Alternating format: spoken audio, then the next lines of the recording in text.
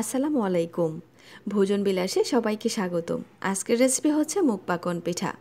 দারুণ সুস্বাদু মুচমুচে রসালো এই মুগ পাকন একবার খেলে বারবার খেতে মন চাইবে। সবচেয়ে সহজ ডিজাইনের পিঠাগুলো তৈরি করে দেখাবো, একবার দেখলে যে কেউ পেরে যাবে। রেসিপি ভালো লাগলে লাইক কমেন্ট এবং শেয়ার করে সাথে থাকার অনুরোধ রইল। প্রথমে চুলায় একটি প্যান বসিয়ে দিয়ে তার মধ্যে আধা কাপ মুগ ডাল নিয়ে নিচ্ছি। নেড়ে চেড়ে অল্প আছে ডালগুলোকে টেলে নিব। যখন ডালগুলোর কালার চেঞ্জ হয়ে গিয়ে সুন্দর ঘ্রাণ ছড়াবে, এ পর্যায়ে বুঝতে হবে এগুলো টেলে নেওয়া হয়ে গেছে। এখন প্যানটাকে চুলা থেকে নামিয়ে ডালগুলোকে একটা বলে নিয়ে নিচ্ছি। পর্যাপ্ত পরিমাণ পানি দিয়ে ডালগুলোকে ধুয়ে নিচ্ছি। চুলায় আবারও একটি সসপ্যান বসিয়ে দিলাম। এর মধ্যে ধুয়ে নেওয়া ডালগুলো দিয়ে দিচ্ছি। আর দিয়ে দিচ্ছি দুই কাপ পানি। প্যানটাকে ঢেকে দিয়ে মিডিয়াম আঁচে ডালগুলোকে সিদ্ধ করে নেব। প্রায় আট থেকে দশ মিনিটের মতো সিদ্ধ করে নেওয়ার পরে ডালগুলো খুব ভালোভাবে সিদ্ধ হয়ে গেছে। এখন একটা ঘুটনি দিয়ে খুব ভালোভাবে ঘুটে নিচ্ছি যাতে কোনো ডালের দানা আস্ত না থাকে। ডাল ঘুটে নেওয়া হয়ে গেলে ওয়ান ফোর চা চামচের মতো হলুদের গুঁড়া আর আধা চা চামচ লবণ দিয়ে মিশিয়ে নিচ্ছি।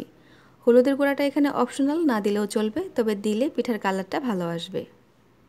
এবার এখানে দুই কাপ শুকনো চালের গুঁড়া দিয়ে দিচ্ছি। দিয়ে নেড়ে চেড়ে খুব ভালোভাবে মিশিয়ে নিচ্ছি।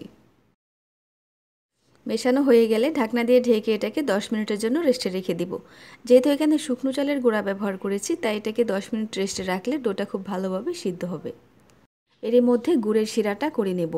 এজন্য চুলা একটি প্যান বসিয়ে দিয়ে এর মধ্যে এক কাপ গুড় নিয়ে নিচ্ছি। এরপর সামান্য কিছু আস্ত জিরা আর একটা তেজপাতা দিয়ে দিচ্ছি ঘ্রাণের জন্য। ওয়ান থার্ড কাপ দিয়ে দিচ্ছি পানি। এখন মিডিয়াম আঁচে নেড়ে চেড়ে শিরাটাকে জাল দিয়ে নেব। বেশ কিছুক্ষণ জাল দিয়ে নেওয়ার পরে যখন শিরাটা ধরলে এরকম আঠালো মনে হবে, এ পর্যায়ে বুঝতে হবে শিরাটা হয়ে গেছে। এখন প্যানটাকে চুলো থেকে নামিয়ে একটা সাইডে রেখে দিচ্ছি। এদিকে দশ মিনিট পর ডোটাকে মথে নেওয়ার জন্য একটা বড় প্লেটে নিয়ে নিচ্ছি। একটা ডিম ভেঙে দিয়ে দিচ্ছি। ডিমটা দিলে পিঠাগুলো একদম সফট হয়। এখন হাত দিয়ে সব কিছু একসাথে খুব ভালোভাবে মথে নেব।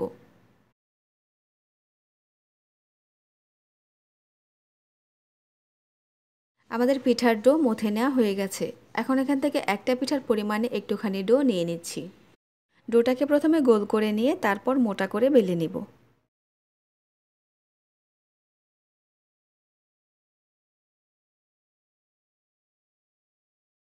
বেলে নেওয়া হয়ে গেলে পিঠার গায়ে ডিজাইন করার সুবিধার জন্য রুটিটা একটা পলির উপর নিয়ে নিচ্ছি।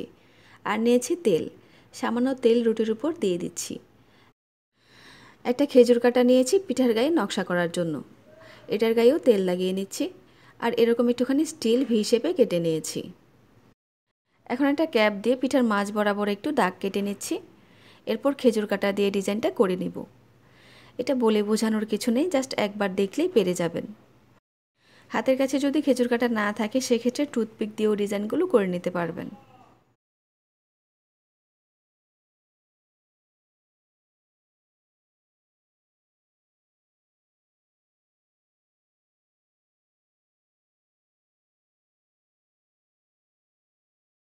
স্টিলের কাটারটা দিয়ে পিঠার সাইডটা কেটে নিচ্ছি।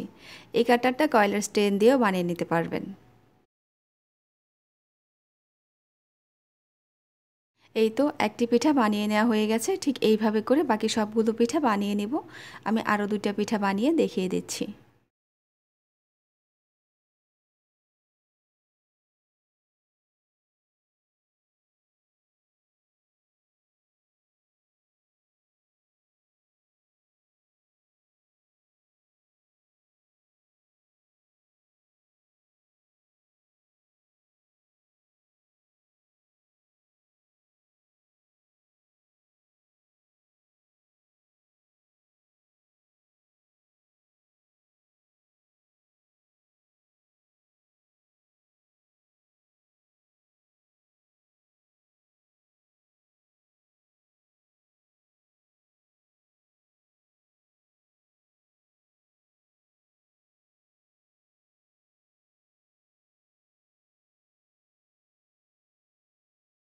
একে একে সবগুলো পিঠা বানিয়ে নেওয়া হয়ে গেছে। এখন এগুলোকে ভেজে নেব। চুলা একটা প্যান বসিয়ে তার মধ্যে পর্যাপ্ত পরিমাণ তেল গরম করে নিয়েছি। এখন একটা একটা করে পিঠা তেলের মধ্যে দিয়ে দিচ্ছি। চুলার আঁচটাকে মিডিয়ামে রেখে গোল্ডেন ব্রাউন হওয়ার আগ পর্যন্ত পিঠাগুলোকে ভেজে নিব।